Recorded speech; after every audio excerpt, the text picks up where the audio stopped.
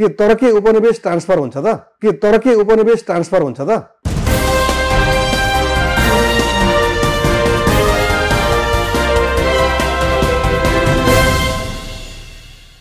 हिजो बेलायतको थियो। बेलायतले हामीलाई छोड्यो। अब अरू बाँकी रहेको जमिन चाहिँ हाम्रो हुन्छ। भन्नु पर्यो अब। अहिले चाहिँ तपाईँलाई एउटा अहम महत्त्वको कुरा म सुनाउन चाहन्छु। दार्जिलिङमा गोर्खाल्यान्ड आन्दोलन चलिरहेको छ नि सुन्नुहुन्छ तपाईँले। एकदमै। उहाँहरू चाहिँ दार्जिलिङका मानिसहरू अथवा सुगोल सन्धिमा घुमेर भारतमा रहे- रहेको जमिनका मानिसहरू चाहिँ उहाँहरूलाई उहाँहरू चाहिँ के भन्नुहुन्छ आफूलाई भने हामी चाहिँ वी आर इन्डियन भन्नुहुन्छ। तर त्यसो भन्नको निमित्त त्यहाँको संविधानले नै दिएको छैन। ए।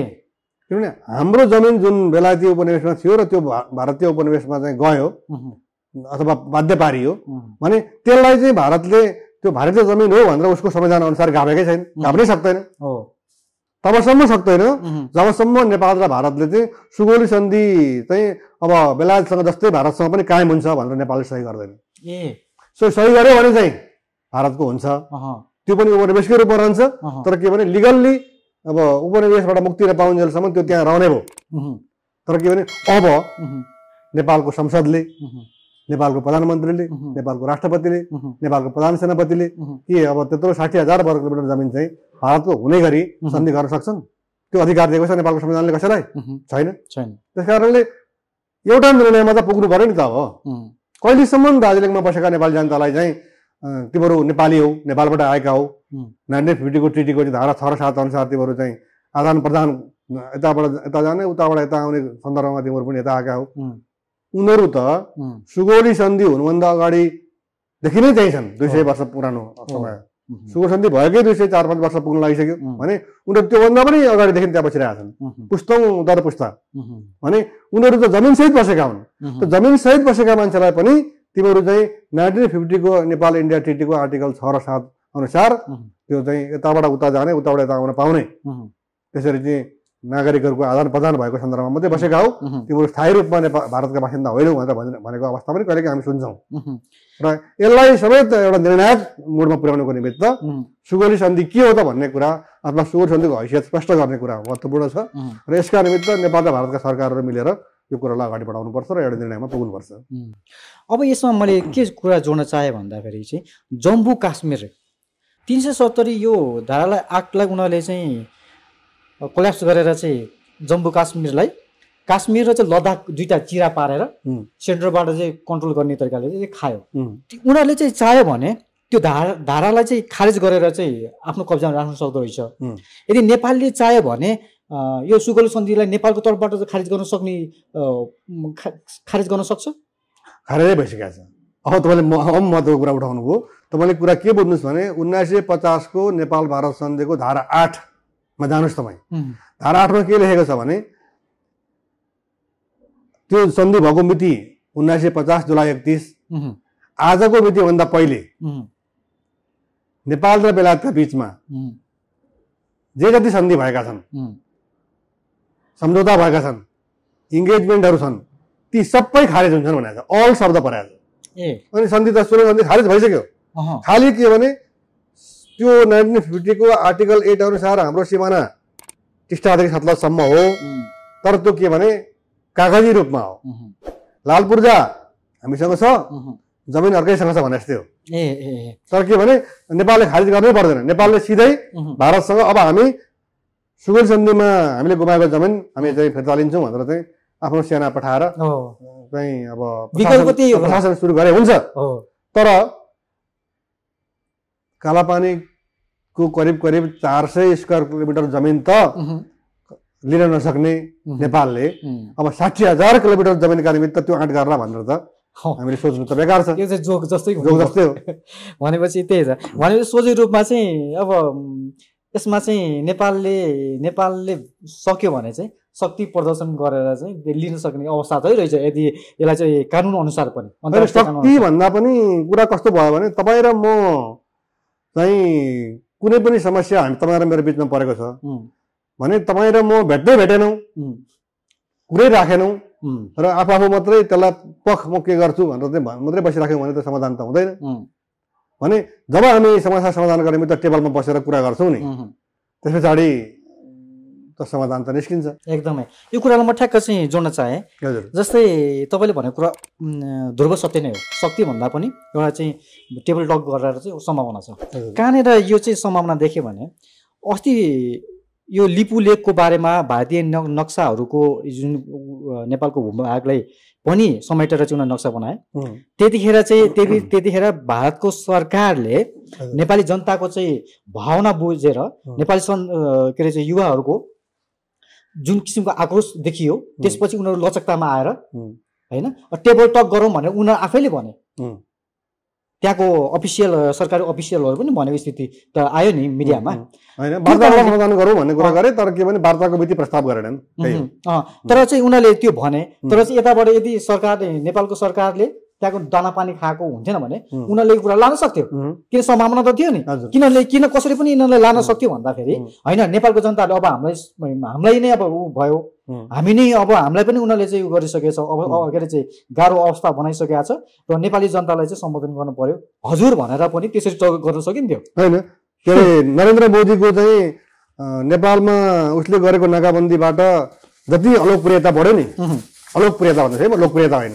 ऊ जति बदनाम भयो नि अलिकति बिस्तारै केही कम हुँदै थियो। त्यसलाई चाहिँ यो कालापानी लिम्पियाद्रा लिपिले प्रकरण जुन चाहिँ उसले आफ्नो नक्सामा राखेर चाहिँ हाम्रो हो। वार्ता त हामी गर्छौँ तर के पनि त्यो हाम्रो हो पनि भनिरहेको छ। वार्ता हामी गर्छौँ तर त्यो हाम्रो हो। यसले के बुझाउँछ? भन्दा हामी छाड्दैनौँ भनेको। र यसले के भने थप अलोकप्रिय बनाउनलाई चाहिँ अब सहायता गर्यो। र चाहिँ एन्टी इन्डियन मुभमेन्ट नेपालमा। एकदम साना साना मानिसहरूमा समेत बालबालिकाहरूमा समेत भारतले यस्तो गरेको छ भन्ने किसिमको चाहिँ एउटा भावनाको अभिवृद्धि चाहिँ गर्यो। एकदमै। अब जस्तै यो कुराहरूमा त्यहाँको सरकार त्यहाँको त्यतिखेरको जस्तै अहिले यो नक्साको कुरामा भारतीय भारतीयहरूले नेपालको भूभागलाई चाहिँ नक्सामा लिएको स्थितिमा पनि त्यहाँको जनताहरूले फेरि नेपाललाई सपोर्ट गर्दै थियो हेर्नुहोस् है। होइन नेपालको चाहिँ नेपालको भूभाग हो भने होइन उनीहरूलाई चाहिँ उनीहरू गरौँ यसमा चाहिँ हामीले किन गर्ने र नेपाली जनताहरूलाई सम्बोधन गर्न गर्नुपर्छ भनेर त्यहाँको सरकारहरूलाई पनि त्यहाँको जनताले गाली गरिरहेको स्थिति थियो। यो किन पनि यो थियो भन्दाखेरि होइन अब नेपाली नेपालीहरू भनेको नेपाल भनेको हाम्रो चाहिँ छिमेकी हो। होइन? छिमेकी हो यो कारणले पनि नेपाललाई हामीले चाहिँ साथ दिनुपर्छ नेपालको नेपाललाई चित्त दुखाउने नेपाली जनतालाई चित्त दुखाउने काम यो कारणले पनि गर्नु हुँदैन कि? किनकि यिनीहरू यदि हामीले चित्त दुखायो भने यिनीहरू चाइनातिर जान्छ। त्यही कारणले चाहिँ चाइनातिर जान्छ यिनीहरू भनेपछि हाम्रो छिमेकीलाई किन चाहिँ अलिकति हेपेर चाइनातिर किन चाहिँ जानलाई हामीले बाध्य बनाउने? किन चाहिँ उक्साउने? त्यो कारणले पनि अब नेपाली जनताहरूलाई चाहिँ जनताको भावना सम्बन्धहरू हुनुपर्छ त्यहाँको जनताले पनि भनेर स्थिति थियो। र त्यहाँको जनताले साथ दिएको स्थिति र नेपाली युवाहरू जागिसकेको स्थितिमा सरकारले यदि सरकार बलियो हुन्थ्यो भने तपाईँ जस्तो तपाईँको जो चाहिँ ग्रेटर नेपाल राष्ट्रवादी मोर्चा जस्तो एउटा चाहिँ देशको लागि होइन लडिरहेको एउटा चाहिँ त्यो पार्टी पोलिटिकल पार्टी भएर शक्तिमा जान्थ्यो भने त्यतिखेर चाहिँ जनताको आवाज लिएर चाहिँ टेबल टेक गर्दाखेरि चाहिँ धेरै हुने सम्भावना थियो भन्ने एउटा चाहिँ आँक्न सकिन्छ। एकदम त्यो त हन्ड्रेड पर्सेन्ट राष्ट्रवादी सरकार हुने हो भने उनले त त्यो आजको भोलि काम गर्नुपर्छ। भार मैले बारम्बार के कुरा भन्दै आएको छु भने नि नेपाललाई यो पनि फाइदा छ। यो कारणले नेपाललाई यसरी पनि फाइदा छ। नेपाललाई चाइना भएको चाइना छिमेकी मुलुक भएको कारणले यो पनि फाइदा छ। हो नि। मैले भन्न खोजेको कुरा चाहिँ के थियो भने भारतको जमिन होइन कालापानी लिपुलेक लिम्पियाजुरा तर उसले आफ्नो नक्सामा राख्यो।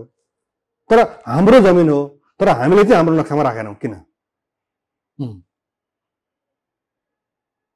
यो महत्त्वपूर्ण कुरा हो नि र हाम्रो प्रधानमन्त्रीले भन्नुभयो उहाँले चाहिँ भारतीय सेना भनेर चाहिँ नामै नलिए पनि विदेशी सेना हाम्रो जमिनबाट हट्नु पर्यो।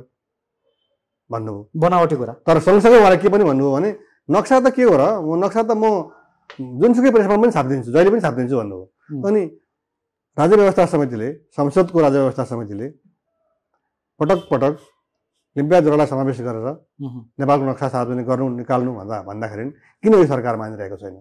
कहाँबाट सञ्चालित छ त्यसो भए। स्पष्ट छ।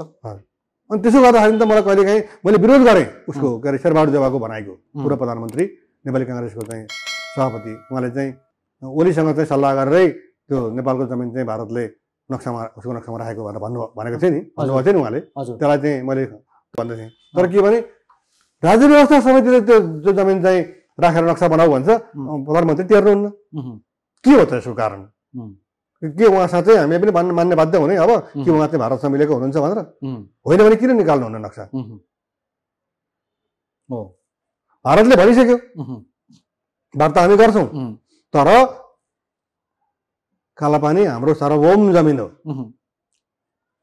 अनि उसले सार्वभौम जमिनमाथि नेपालसँग वार्ता गरेर उसले त्यो जमिन परित्याग गर्छ। आफूले दाबी नगर्ने हो भने। अब यसरी कुल मिलाएर हेर्ने हो भने चाहिँ शक्ति नै पद र शक्ति नै ठुलो कुरा भन्ने कुरा चाहिँ एनालाइसिस गर्न सकिन्छ। यदि सरकार बलियो भने शक्ति कहिलेकाहीँ नि शक्ति कहिलेकाहीँ नैतिकताबाट पनि आउँछ कि? तपाईँ आफ्नो कुरा राख्न नडराउनुहोस् त्यो नै तपाईँको शक्ति हो कि। तर अहिलेको हाम्रो चाहिँ सरकारसँग र नेताहरूसँग यो कुराको अपेक्षा गर्न सकिँदैन। सकि सकिएन अहिलेसम्म सकिएन। भनेपछि कुल मिलाएर भन्दाखेरि चाहिँ अब विकल्प के त? विकल्प जनताले सोच्नु पर्यो. अब यो देशको स्वाभिमान बचाउन नसक्ने। यो देशको राष्ट्रिय अखण्डतालाई बचाउन नसक्ने।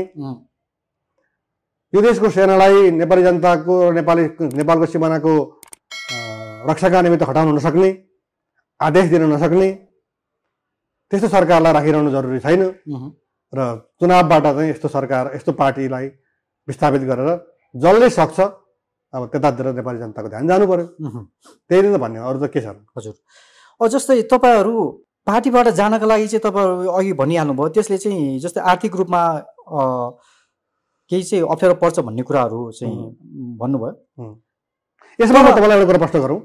एउटा कुरा म एउटा कुराको पक्षमा छु कि? त्यो कुरा के भने अहिलेसम्म हाम्रो प्रधानमन्त्रीलाई संसदले चुन्छ। राष्ट्रपतिलाई पनि संसदले चुन्छ। संसद संसदीय कुनै सिटबाट उहाँ जितेर आउनु पर्यो। तर जितेर आइसकेपछि उहाँ चाहिँ पार्टीको चाहिँ दलको नेता हुनुहुन्छ भने उहाँ प्रधानमन्त्री हुनुहुन्छ। तर जब हामीले चाहिँ राष्ट्रपति वा प्रधानमन्त्री कसलाई कार्यकारी मान्ने त्यो निर्णय गरिसकेर त्यो कार्यकारी प्रमुख चाहिँ जनताबाट चुनिने सिधै। सिधा। भनिन्छ भने नि जस्तै त्यति बेला चाहिँ यो अमेरिका अमेरिकन। पोलिटिक्सलाई हेर्न सकिन्छ यसरी। सिधै जनताबाट चुनेर चाहिँ राष्ट्रपति हुने। हजुर। होइन? त्यस्तो भयो भने चाहिँ के हुन्छ भने अनि त्यो राष्ट्रपति वा प्रधानमन्त्री जो कार्यकारी हुन्छ नि त्यसमा त्यो किसिमको एब्सोल्युट पावर रहन्छ। त्यसले चाहिँ संसदलाई नमान्दा पनि भिटो प्रयोग गर्न सक्ने। त्यो अधिकार समेत हुन्छ। त्यो कसरी संविधानमा बनाइन्छ त्यो आफ्नो त्यसले पनि निर्धारण गर्छ। मैले भन्न खोजेको कुरा के भने त्यो ढङ्गको कुरा भयो भने चाहिँ अहिलेको जुन लोभी पापी संसदमा छन् नि त्यस्ताबाट पनि प्रधानमन्त्री चुनिने। राष्ट्रपति चुनेर आउने भन्ने जुन कुरा छ नि त्यसमा चाहिँ ब्रेक लाग्थ्यो।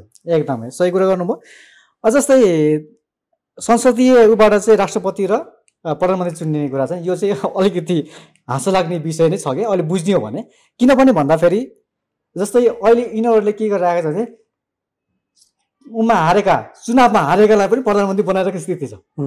होइन अलिकति हाँसी हाँसो लाग्ने. विषय नै छ कि भनेपछि प्रत्यक्ष निर्वाचनबाट चाहिँ राष्ट्रपति र चाहिँ प्रधानमन्त्री बन्नु बन्न के अरे चाहिँ बन्ने एउटा चाहिँ जुन चाहिँ कानुन भयो भने अथवा। जुन चाहिँ नीति भयो भने चाहिँ. त्यसमा चाहिँ अलिकति भिजन भएको मान्छे। शक्तिशाली मान्छे। जस्तो तपाईँले अघि भन्नु हो नि सामाजिक सञ्जालको कुरा ल्याउनु हो नि। तीमध्ये कुनै पनि मान्छे चाहिँ त्यस्तो निर्वाचनमा चाहिँ सहभागी भएर अनि जितेर आउन सक्छन्। तर के भने जब पार्टी सिस्टममा जानुपर्छ भने. त्यस्ता मान्छे पनि चुनाव हार्छन्। जस्तो तपाईँले अघि भन्नु हो नि सामाजिक सञ्जालको कुरा ल्याउनु हो नि। तीमध्ये कुनै पनि मान्छे चाहिँ त्यस्तो निर्वाचनमा चाहिँ सहभागी भएर. अनि जितेर आउन सक्छन्। तर के भने जब पार्टी सिस्टममा जानुपर्छ भने. त्यस्ता मान्छे पनि चुनाव हार्छन्।